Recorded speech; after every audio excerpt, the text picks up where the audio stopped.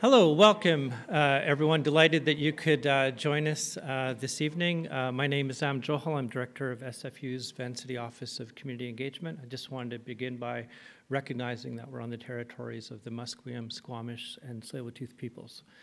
Uh, we're so happy to be partnering for the 11th year in a row with the Downtown Eastside Heart of the City Festival. Uh, they're a fantastic organization. There's hundreds of events happening all through uh, the neighborhood.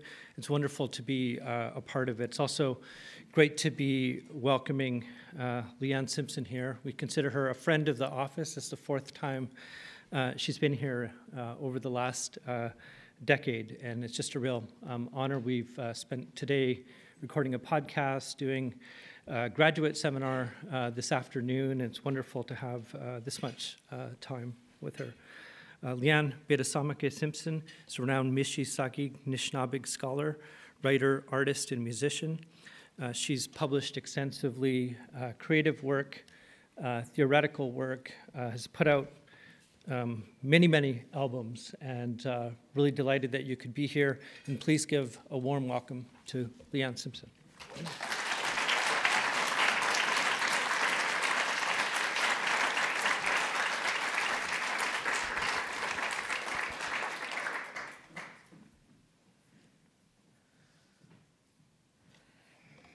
Bojo Kinawaya, Giragad Viju, Nadenawema, Kinagachi Anishnabek Ogami Nadonjaba, Nagojawani Megwadoda, Bidas Musake Nadijnakas. It's so wonderful to be here visiting with all of you tonight. Thank you so much, Am, for having me back for the fourth time in a decade, apparently. Um, it's just wonderful to be here, and I, I appreciate you all coming out. This past year, I've been traveling around with Robyn Maynard and our book, Rehearsals for Living, which is a series of letters that we wrote to each other during the early days of the COVID 19 pandemic and during the Black Uprising in the summer of 2021. The letters were not two moms exchanging recipes although that might have sold more books. Um, they were meant to be thinking alongside each other and bringing into conversation abolition and Anishinaabe practices of world making.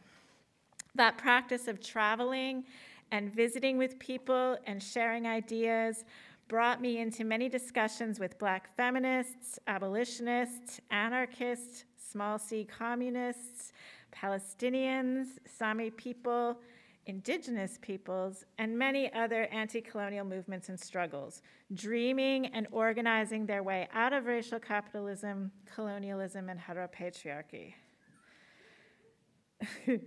You're awesome. Vancouver audiences. the book was written when it felt like the world was falling apart. And this feeling only intensified for me as we traveled. This has only intensified for me these past weeks after watching the catastrophic situation unfold in Gaza. It's been three years of pandemics, freedom convoys, extinct glaciers, abortion and book bans, police killings, children alone in cages at borders, the resurgence of fascist states, open air prisons for entire peoples, and a dying planet showing us its pain through floods, wildfires, and unprecedented everything.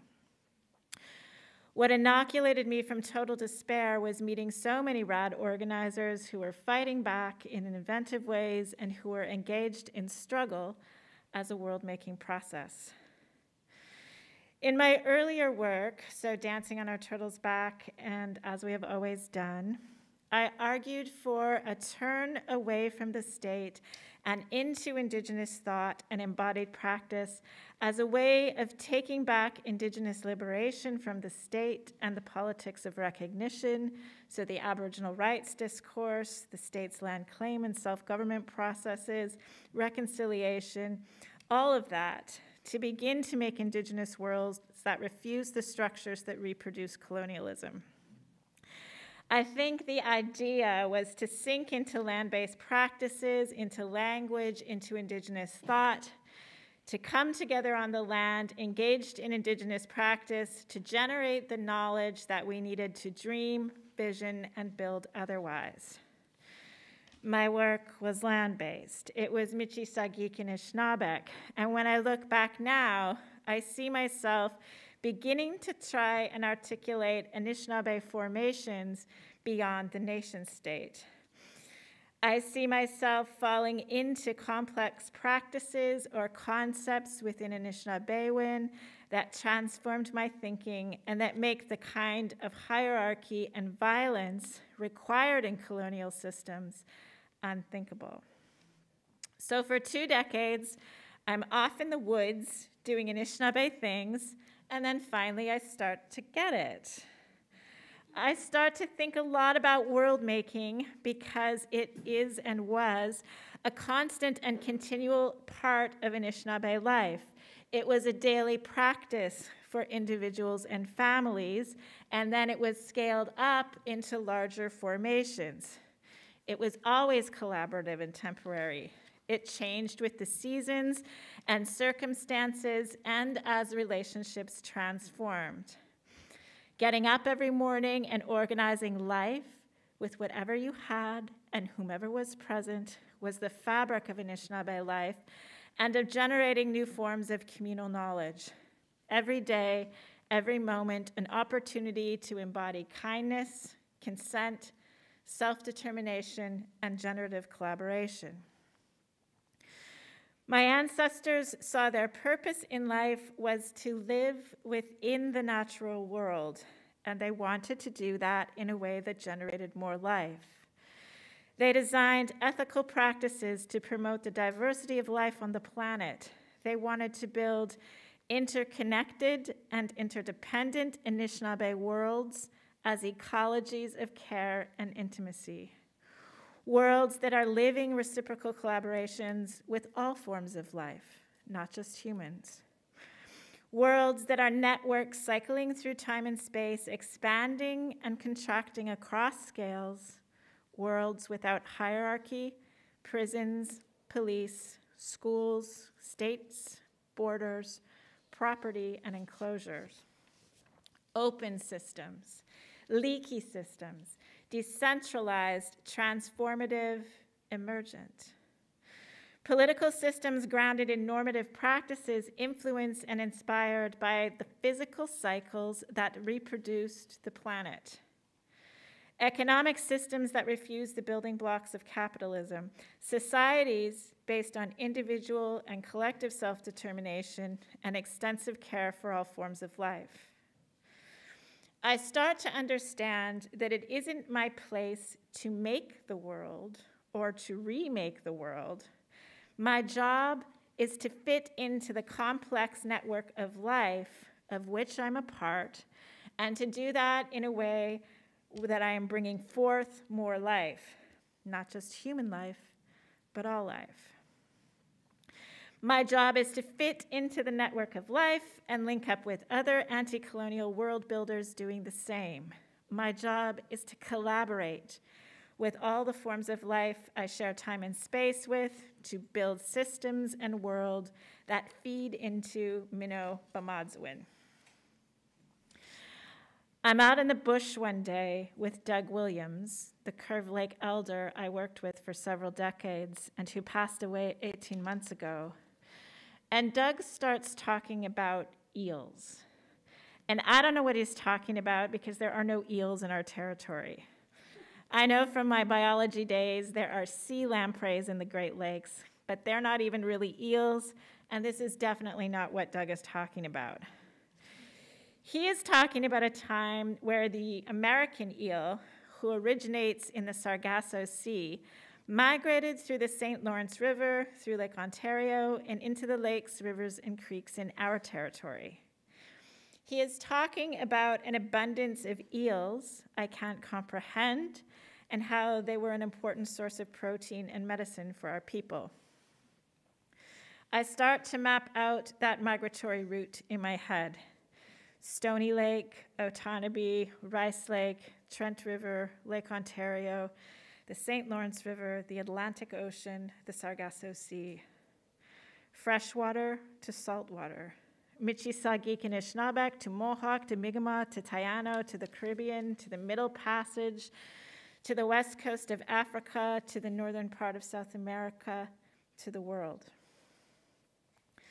Every year, the eel came into my homeland as a messenger and reminded us that our world making was deeply connected not just to the species we shared our immediate time and space with, but with peoples and forms of life all over the world and on the land and in the water and in the sky.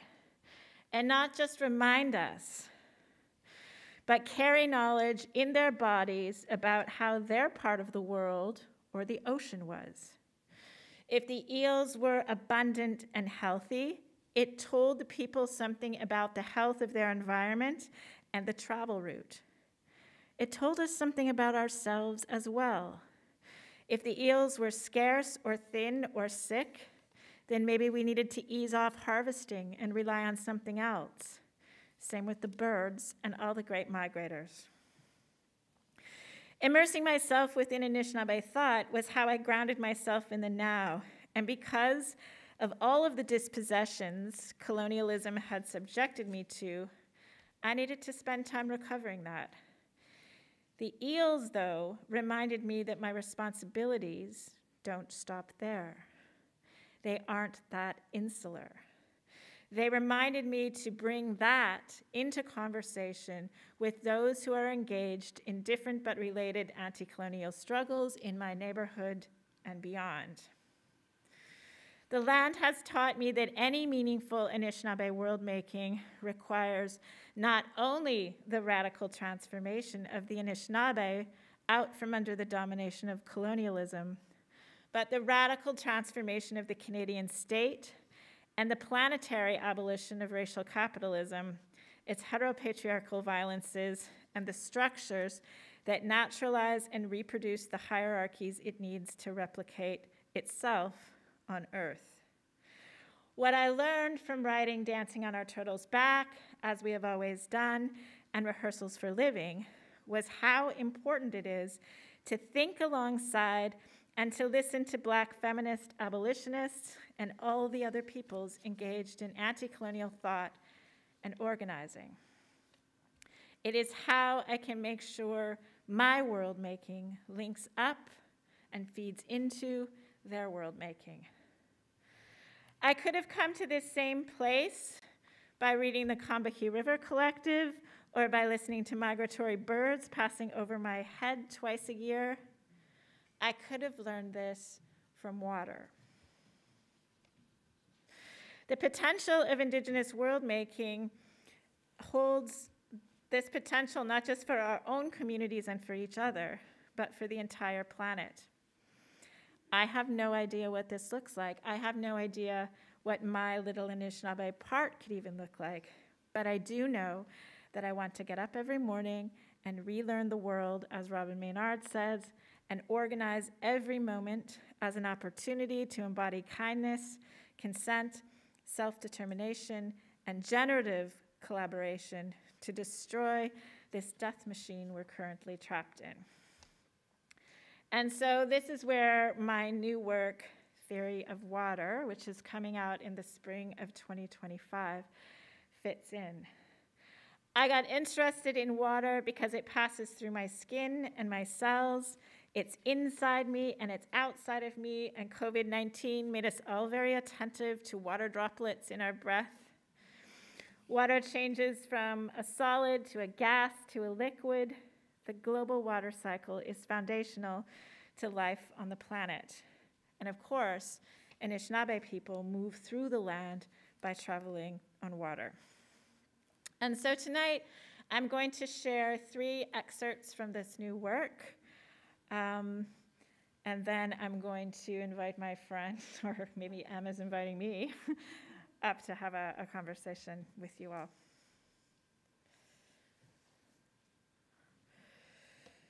So, this is the first excerpt.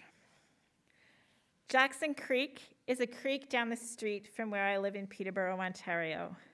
It flows into the man made Little Lake and then into the Otonabee River and eventually into Lake Ontario.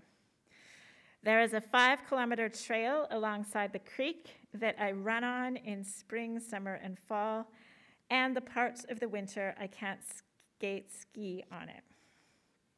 Jackson Creek is, by most accounts, an unremarkable urban creek, I imagine much like every other urban creek in North America, and it's the body of water I spend the most time with every day. Peterborough is built on top of Jackson Creek, a fact that became evident to most residents in 2004 after more than 150 millimeters of rain fell in less than two hours and the creek burst over its bank and flooded downtown. These were the poetic consequences of constraining the creek to make room for urban development, forcing it into smaller and smaller underground tunnels, unable to carry the stormwater of 2004, instead, furiously expelling it outwards without regard for homes, cars, or city infrastructure. Doug used to talk about the creek and its portage as part of a Michi-Saagiig Anishinaabeg route that collected Nogojiwanong, the place at the foot of the rapids, or Peterborough, with Chemong Lake. And every time I'm on that trail, I think of Doug and I think of that passageway. Today, the creek is beginning to freeze after the first big snowstorm of the winter brought nearly 30 centimeters to us. I was up early today on the snowmobile doing passes along the trail, compacting the heavy, wet snow so that possibly tomorrow another driver could attach the groomer. I started helping to groom the trail a year ago during one of the pandemic winters. I volunteered at first just to keep my snowmobile skills up when I'm in the south, so that when I return to work in the north, I don't have to relearn how to drive the sled every time. Grooming certainly helped with that, but those technical skills were eclipsed by something else. Nearly every day, the snow was slightly different along the trail at Jackson Creek. I became drawn to the process of sintering. When a snowflake falls from the sky and lands on the earth, it immediately begins, or perhaps continues, a transformation as it forms bonds at temperatures below zero, so this is not a melting process, but it forms bonds with its neighboring snowflakes or crystals to create the fabric of a snowpack. Sintering is a joining process, a transformative communal process that creates a fabric of former snowflakes bonded to each other. It is a process of changing from a singular angular snowflake to a more rounded form in formation of bonded crystals or a snowpack a denser, more compact linked formation. As the snow sinters, it settles and becomes denser, stronger, saggier under the influence of gravity. Sintering is a slow deformation. Groomers pay attention to sintering because there is nothing like skating along a well groomed trail of packed snow. It feels like I'm flying. As a groomer, there are a lot of factors that influence the sintering process temperature, humidity, time of day, weather, who is using the trail, and how. I think of none of those things each morning I'm on the sled. I think only of the, the, this idea that the first thing a snowflake does when it falls to land from the sky world is to join bonds, actual physical bonds with its neighbor. It weaves itself into its environment in a way that doesn't destroy its neighbors. Sintering is bonding, building coalitions with your neighbors. Those coalitions mean that the packed sinter snow on the trail has staying power and it remains long after spring has melted the snow around it. Snowflakes, in their own right, are also fascinating to me. I understand from snow scientists that they start out as a single nucleated dust particle that attracts water droplets that in turn freeze and accelerate into crystal form.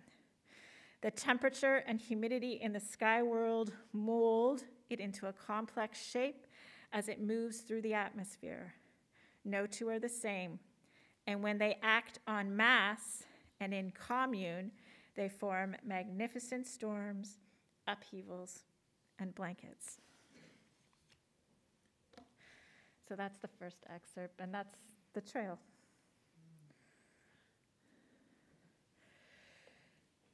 Excerpt number two. It starts with a quote by Dionne Brand from Nomenclature I do not have day, and I do not have moonlight. I do believe in time. I do believe in water.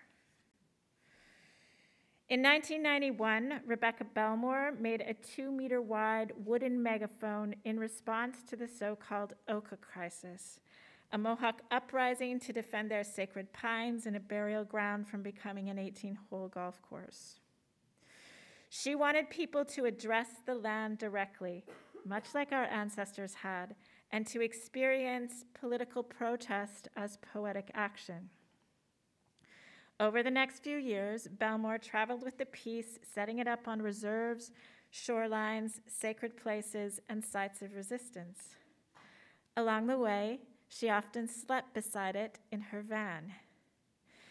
In Anishinaabemowin, the piece was called Ayumi Ewach Omamamoen, which translates into English as speaking to their mother. And as she traveled, the piece became an instrument, invoking a sort of gathering space for Indigenous people to amplify our voices and speak directly to the land. Our old people, Belmores in mine, had and have an intimate relationship with the land and water. They spoke to the sun in the morning and the moon at night as cherished relatives. They visited with the water lilies and Labrador tea before they picked them to make medicine. They prayed to the ones that passed on to the spirit world, and they prayed to the spiritual beings that lived in their worlds. They spoke with and dreamed of beavers and muskrats before they harvested them. They made offerings to whitefish before setting nets and to the lakes and rivers for safe passage. They were in constant dialogue with the world around them, which is saying something because Anishinaabe are not known as chatty people. Many Anishinaabe still do this while harvesting, making medicines, or in ceremony. For many of us, the sound waves of our voices, vibrations made from the instrument of the body, are an affecting force in the universe. It is within this context that I understand Ayumi Watch Omamamoen. At first, Belmore installed the piece on the land, outside of the gallery, outside of the confines of the so called white box, and in the network of living things that contain the potentiality of Indigenous peoples. In this way, the performance installation became a gathering site, a communal meaning making project, and a space that generates knowledge. Ayumi Wacho Mamamoen placed bodies with the relationality of land and water and asked us to relate through sound and listening. In a conversation with Anishinaabe curator Wanda Nanibush in 2014, Belmore says that her strategy of bringing a conceptual artwork in the form of a functional tool to the people and asking them to speak directly to the land itself, as we have always done, strengthened her understanding of the role of the artist. The artist, the maker, the visionary has always been part of who we are. Looking back at the photographs and the videos from the first journeys of Ayum-ee-aawach Oomama-mowan, I get a strong sense of how the piece brought people together.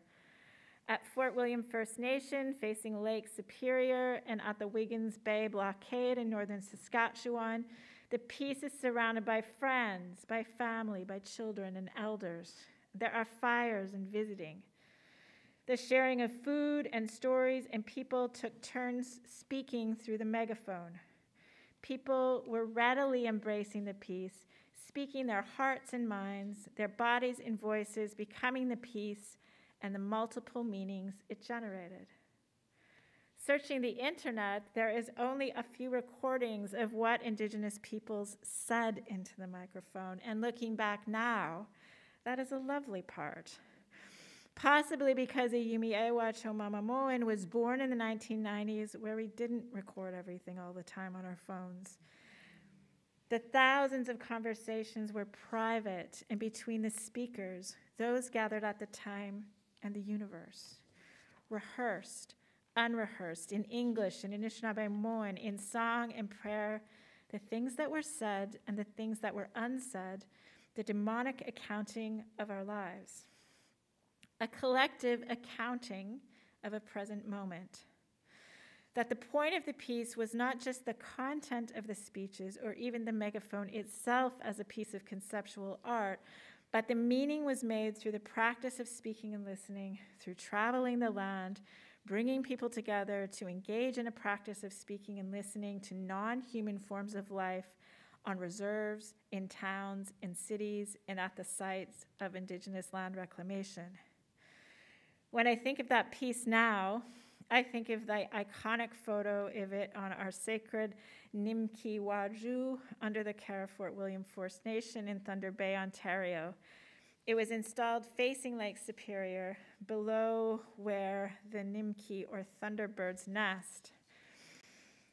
I imagine what it would have been like that day the laughing, the joy, the sense of being present. I remember my own kids being frightened at their own voices as Ayum-ee-aawach Oomama-mowan amplified them into an already scary white box gallery of the National Gallery in Ottawa, reminding us all that day of how out of place Ayum-ee-aawach Oomama-mowan was in the gallery.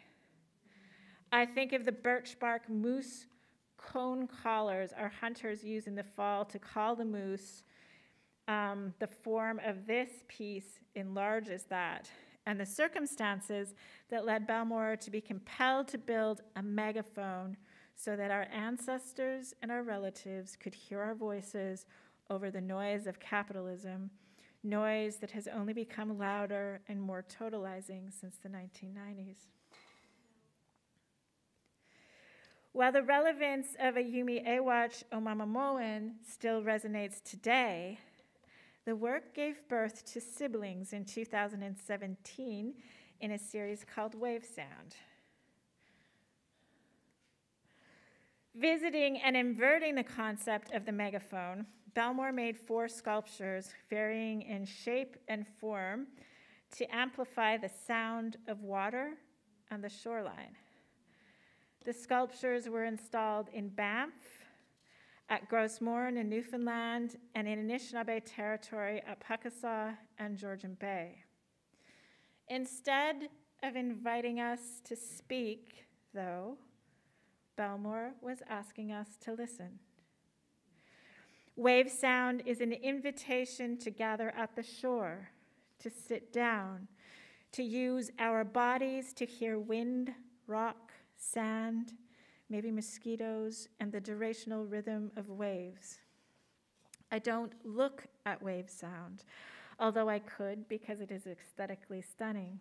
Instead, I become enmeshed in wave sound, placing my body on the land to quiet and to listen beside Nibi, to listen through Nibi, to listen with Nibi, a being that changes from liquid to solid to gas, that travels the sky world, underground, inside and outside of my body, an ancient formation of molecules that has been the same since the beginning of this world. A fugitive that erodes and escapes containment, one that we simply cannot live without. My ancestors spoke to their ancestors through the sound of rushing water it's one of the many reasons that hydro dams, interpretive centers, and lift locks are so irritating to us because they close off channels of communication. The sound of rushing water is a sort of portal to another world. These waves of energy where human hearing gets altered were often places where spiritual beings lived or where certain events happened. Those sounds of water moving were also normalized.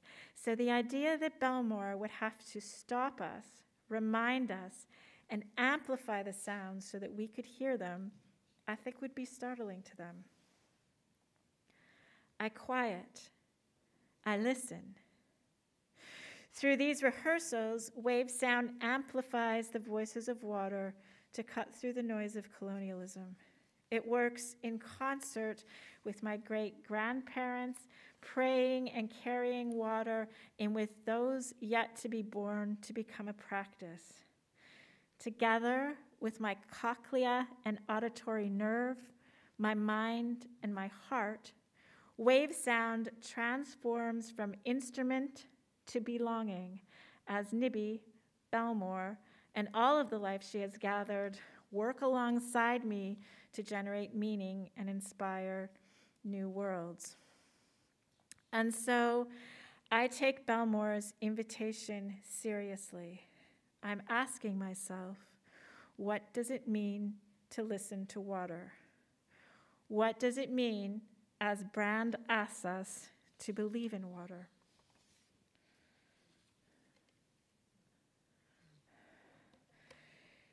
In November of 2021, in the midst of the fourth wave of COVID 19 in Canada, Dionne Brand's A Map to the Door of No Return was miraculously enacted as a ceremony, a gathering site, a traveling piece, a celebration, and of course, as a mapping and an unmapping by a brilliant formation of artists and writers thinking alongside and practicing waywardness. And this is the third excerpt. For me, the event co created an autonomous zone bursting with mutual aid, stretching the boundaries of abolition and black feminisms, and celebrating the 20th anniversary of Brand's book with presence and engagements. There were readings, there were screenings, panel discussions, and exhibitions from all over the Caribbean, South Africa, and North America.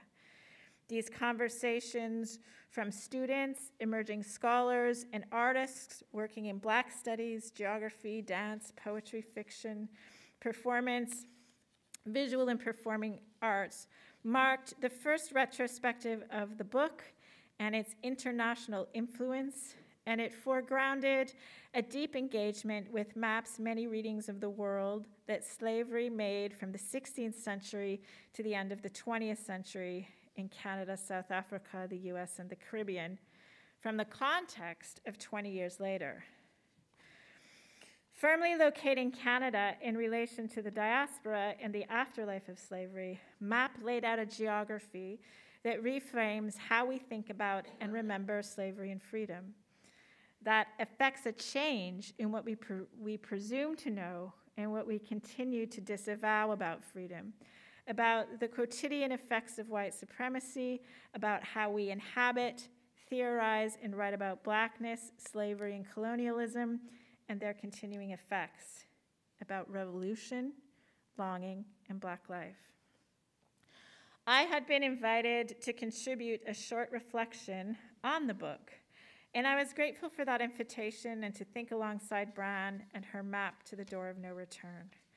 I was grateful for the gift of that struggle. I refound the book on the endless and chaotic bookshelves in our house, and I began reading. I read and reread the chapter entitled Pinery Road and Concession 11. I calculated temporally when Brand might have been living in my territory outside of Kinmount, Ontario, in a cabin in the woods. I thought about what I was doing in that same period. And then, instead of writing, I drove to Pinery Road in Concession 11, and I took as my companion a black ash basket, a basket that had found its way to me through a series of family and friends that I was returning to the Cultural Center at Curve Lake First Nation, which incidentally is on the way to Pinery Road. In the car, with map on the dashboard, I thought about place, belonging, diaspora, property, plantation, foreclosure.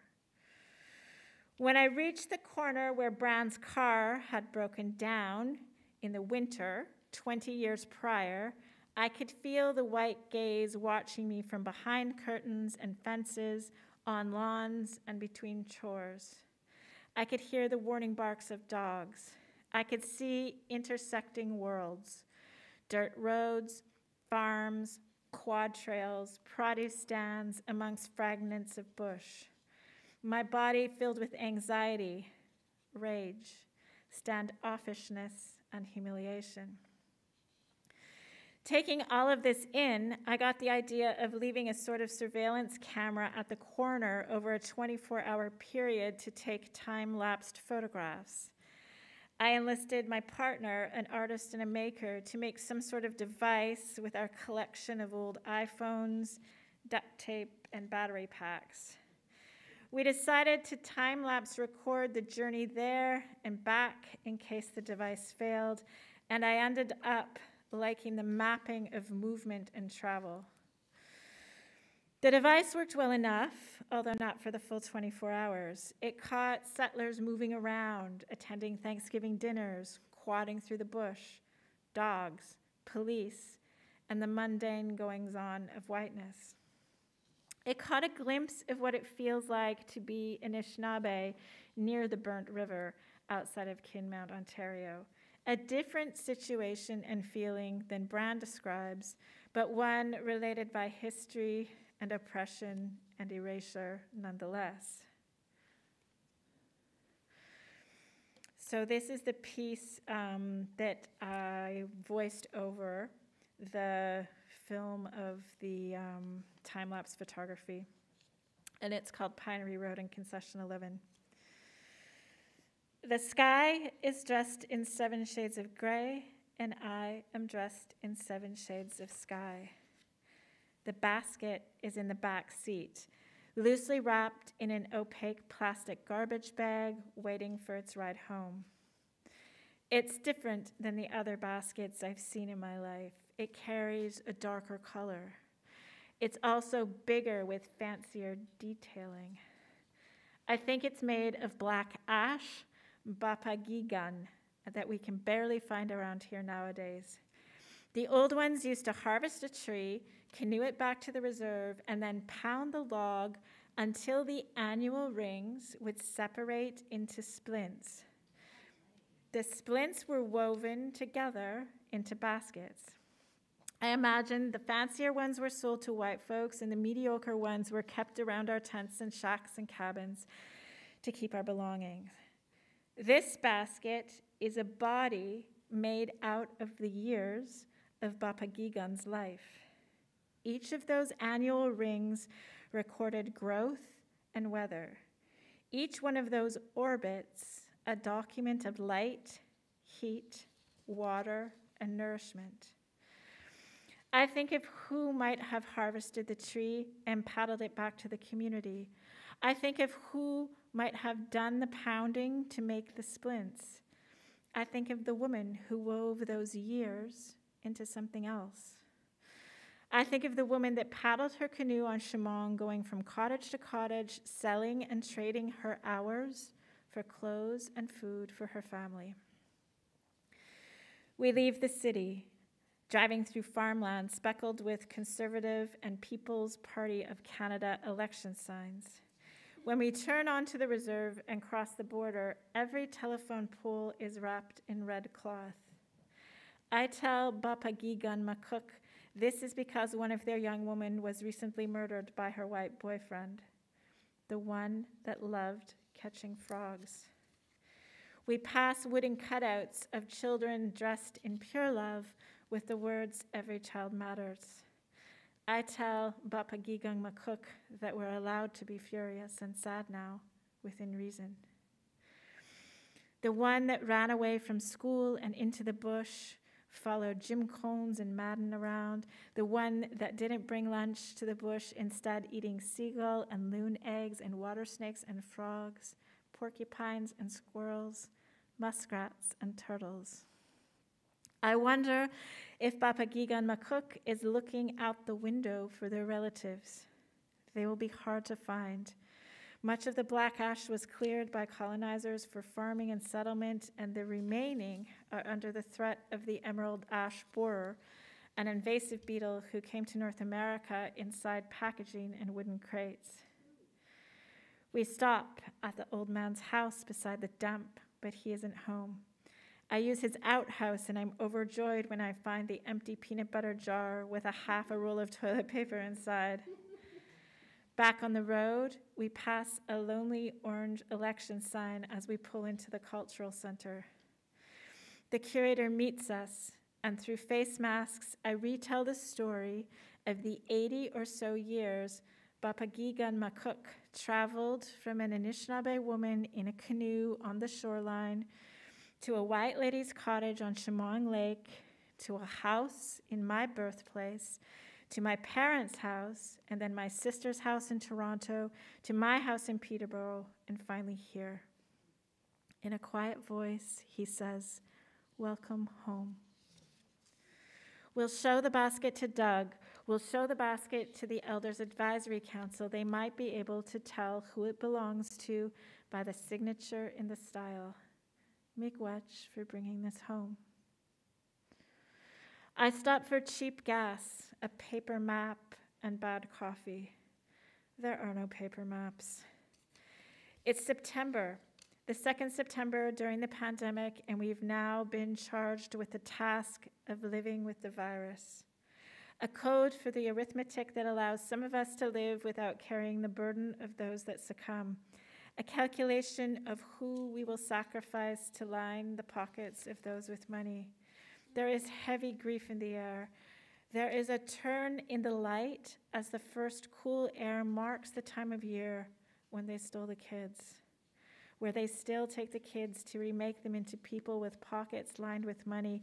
Summer might have held space for running and laughing and shrieking around, but there is no space for that in the fall. There is no space for the sounds of children.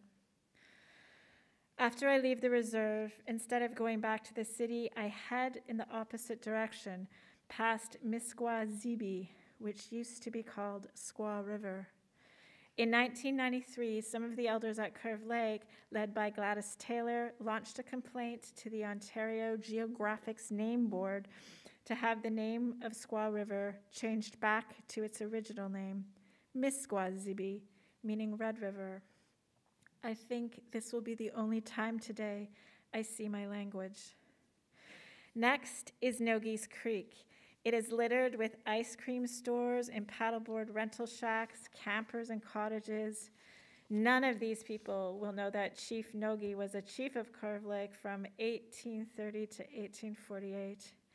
He was exiled from the reserve to this place by the Indian agents and the missionaries. This was no real hardship for him.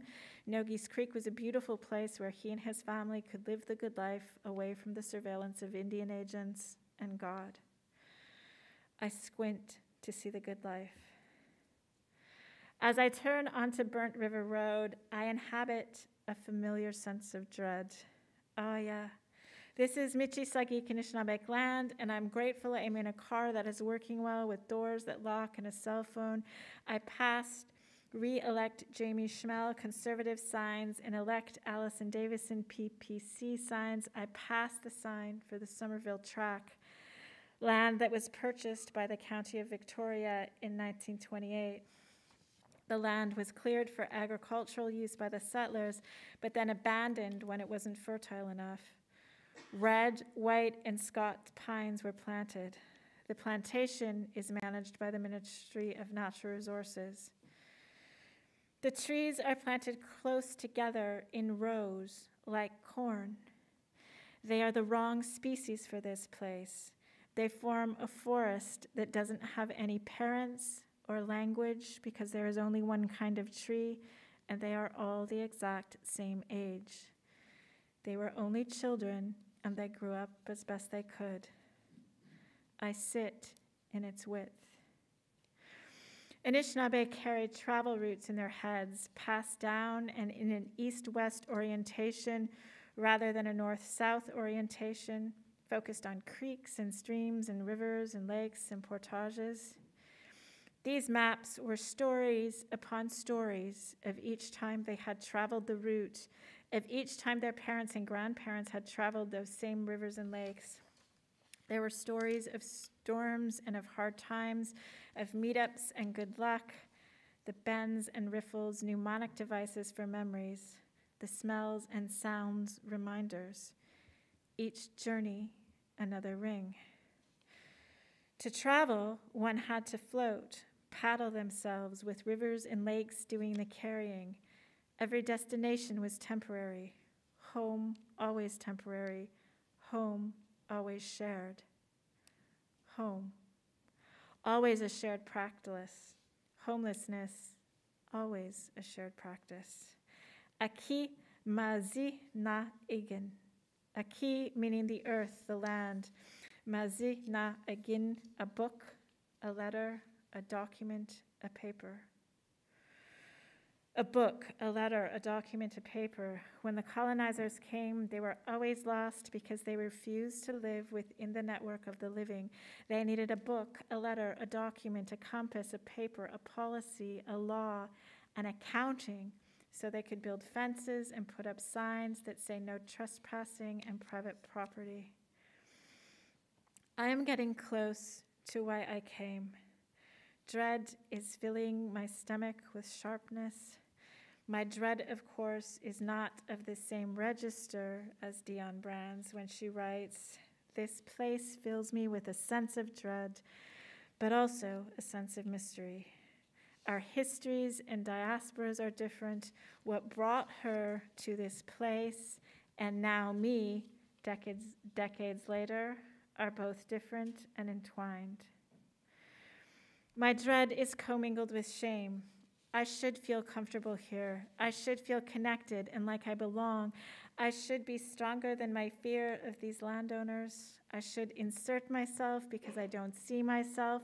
I should know the name of Burnt River in my language. I should want to live here in a cabin and write books and do ceremonies and tap maple trees. I should, and I don't.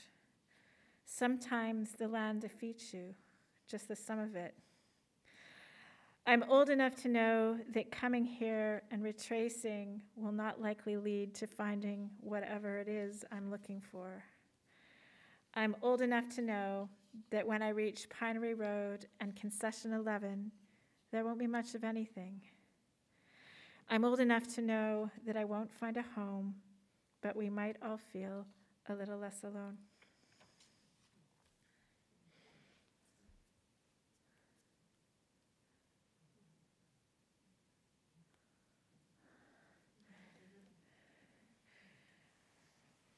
In this moment, we're witnessing the results of 75 years of settler colonial dispossession, 56 years of occupation, and 16 years of an open air prison of 2.2 million people in Gaza, half of which are children.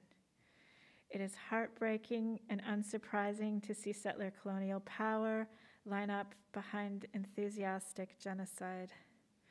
I was in Palestine in May and my heart grew witnessing the strength of Palestinian families in the face of the quotidian violence of the Israeli apartheid regime. This was taken outside of the Kalandia checkpoint going into East Jerusalem, and he gave me a free piece of watermelon. I'm interested in making worlds where life is precious, as Ruth Wilson Gilmore says where Palestinian life is cherished, where Jewish life is cherished, where Indigenous and Kashmiri and Tibetan and Muslim and Black life is cherished, where Ovaherero and Uyghur life is cherished, where queer life is cherished, and where we care for the planet that sustains all of us. I'm interested in building worlds where the violence of capitalism and heteropatriarchy and anti Semitism, anti Blackness, and colonialism are unthinkable. Lift the siege and the blockade and the occupation, dismantle apartheid, decolonize Palestine. And my friend Harsha asked me to remind you all to be out, all out for Palestine tomorrow at the rally, Saturday at 2 p.m., the Vancouver Art Gallery. Miigwech.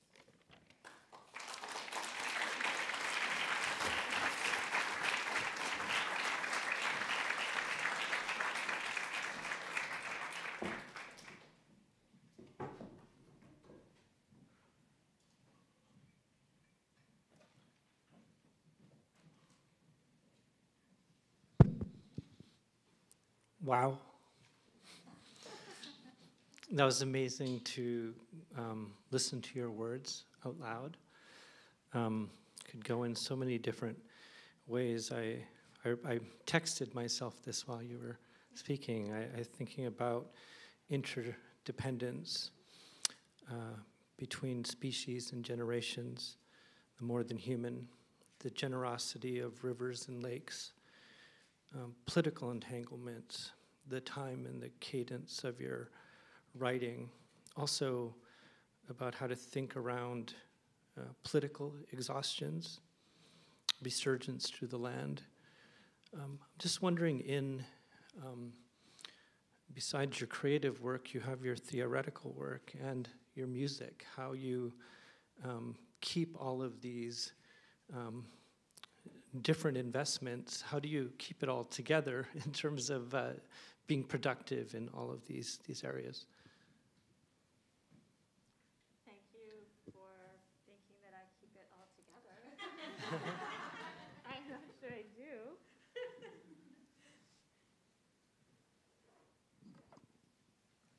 I think that um, I think that it happens pretty naturally to me, and I think one of the reasons why I wanted to share this piece about centering um, with you in this way in this book is this is how it came about. I was sort of up early in the morning during the pandemic on the snowmobile in the park, grooming the trail for the cross country skiers, and then skiing it, um, not totally paying attention to what I was doing, but thinking about centering and thinking about what the snow was teaching me about how to live in community and how to create um, deep, caring, lasting bonds with the, the different forms of life that are around me. And so I think that um, I like to sort of take these ideas and build them into some sort of a practice, whether that is through writing or through music um, or through another land based practice, so that I can rehearse and repeat the process over and over and over again because I find that that's where um, the kind of that's that generative part of it comes through repetition and comes through um, me listening, I think, to the snow and um, trying to really embody what it's what it's teaching me.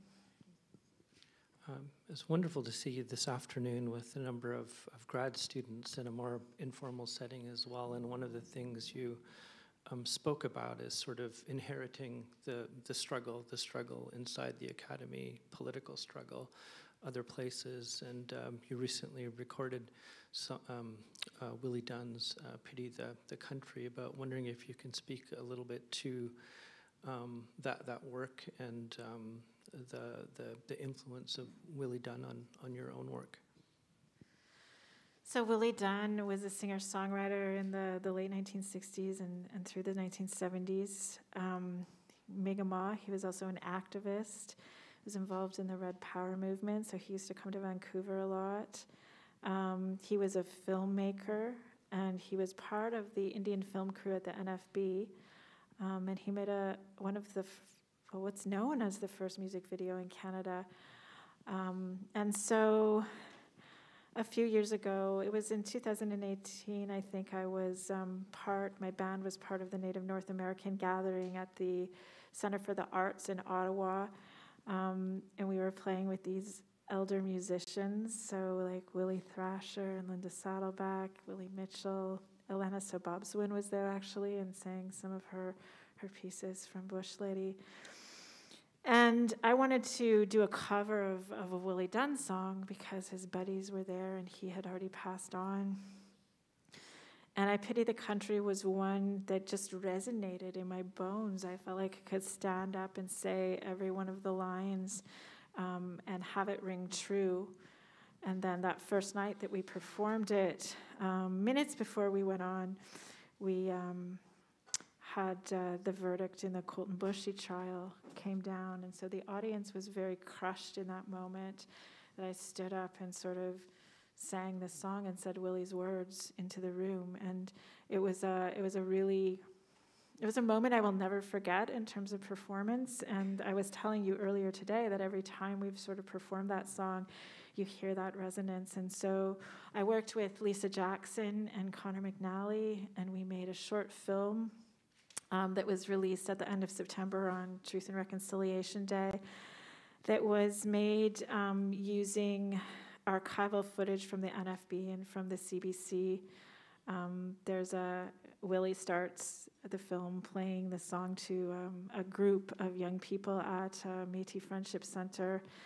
And then there's this incredible body of work that really um, records a lot of Indigenous resistance in Canada um, archivally that we've kind of we cut through, and then we end with his sort of iconic CBC in the 60s interview where he's talking about the importance of direct action. Yeah. Uh, you know, we're here inside of a, a, School for Contemporary Arts. There's a number of students here, graduate students and otherwise, but wondering if you can speak a little bit to how your creative process has changed either in your writing or your music, how you've evolved in the different ways that you've been producing work. Hmm. I think um, for music, I sort of started out doing poetry over music, and I was interested in sort of that commingling of it. I think um, Theory of Ice wanted to kind of explore, sort of blur those boundaries between song and spoken word. So there's a lot more singing, there's a lot more song structure. I like music because writing is a very solitary process, and music is very collaborative. You're also, um, I'm not with you and watching your face when you're reading my book. That's probably a good thing for you and me. Um, but when you're performing, you're interacting, you have a relationship with the audience, you see how the material is hitting or, or not hitting. So that was an interesting part of, of it. Traveling around and, and sort of doing the, the same songs over and over again was, was that kind of generative process again for me. Um, and so this time around, I'm working on a new album right now. Um, the music is now coming first, and I'm writing lyrics and vocal lines to the music. So it's the, that process is sort of flipped. Yeah. Great. I think we're going to open up uh, to everyone for, for questions. Just ask if you keep your question to about a minute. We'll take two questions in a row so we can get to as many as uh, possible. Also, uh, Leanne's books are for sale. We have uh, wonderful Massey Books. Our neighborhood bookstore uh, is here, and Leanne will be available to sign books as well. So we have about 15 minutes. So if you could just put your hand up and speak into the mic because we have people on live stream. Yeah.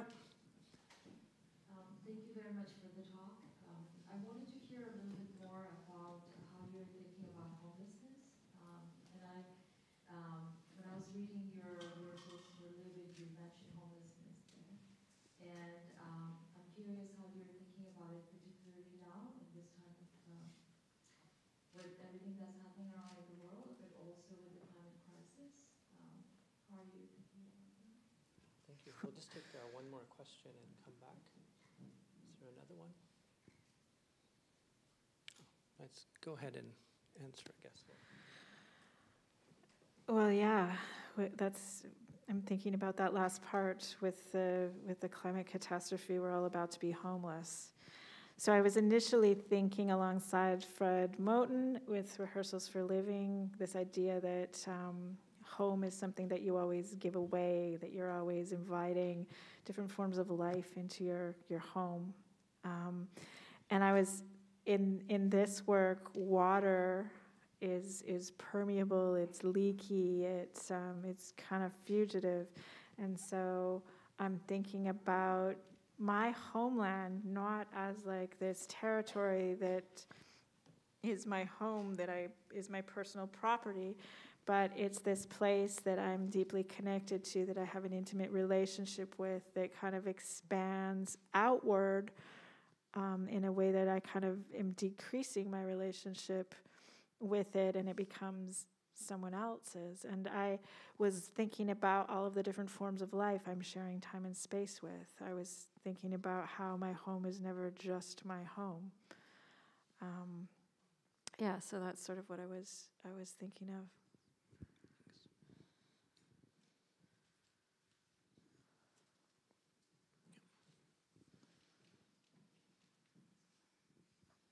you so much, Leanne. It's a pleasure to have the honor of being in your presence in person.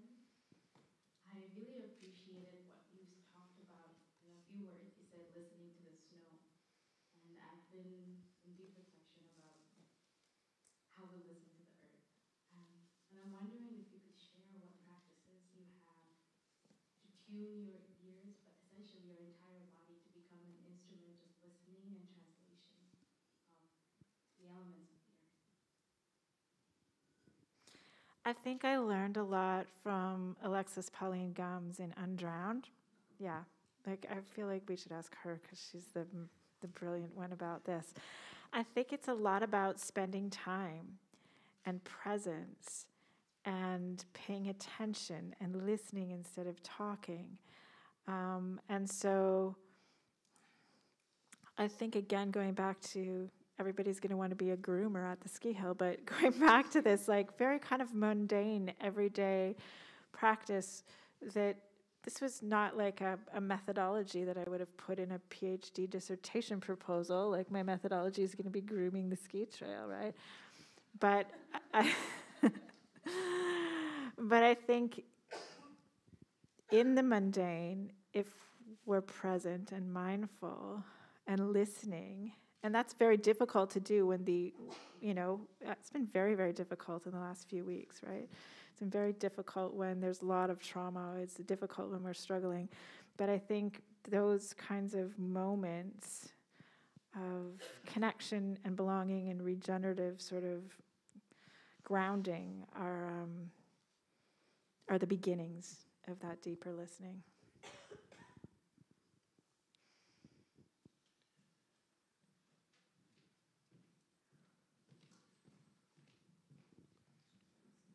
Thank you for sharing your knowledge. My question is about the generational gap. Like, how do you look at the way elders and grandparents are listening to the present environment or present moment compared to grandchildren? Because grandchildren are bombarded with social media, whereas my generation would rather enjoy the, the river, as you said.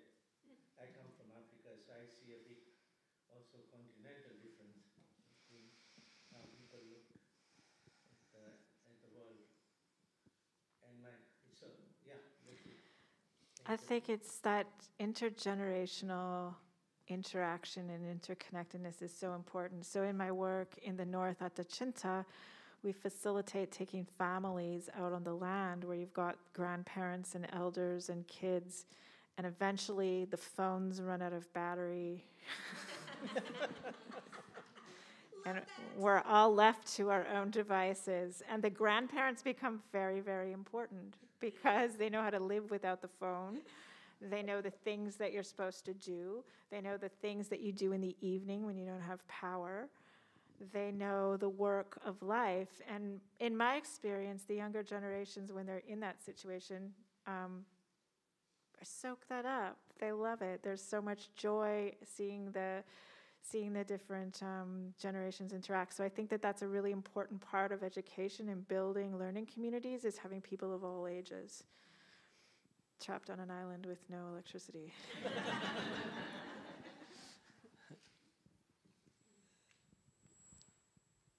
We've got time for three or four more questions. So.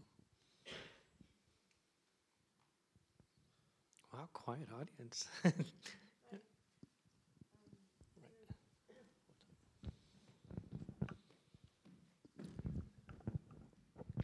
could have done this without a mic. Uh, is there any place that we can see your film? Yep, it's on the internet. it's on the YouTube. Um, it's on Instagram. But yeah, you should be able to find it if you Google my name and I Pity the Country. It'll pop up on, on YouTube.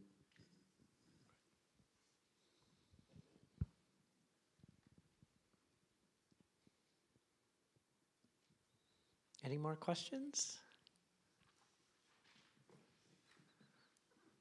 Okay, well, I, um, I'm going to thank Leanne in a moment, but I wanted to thank uh, everyone at SFU's Vancity Office of Community Engagement, Kathy Fang, Sam Walters, Julia Ioki, all of the tech staff. Thank you so much for all of the work that went into that. And for those of you watching at home, uh, thank you all for being here. Leanne will be available to sign books, but thank you so much, Leanne, for joining us again, and I'm sure you'll be back.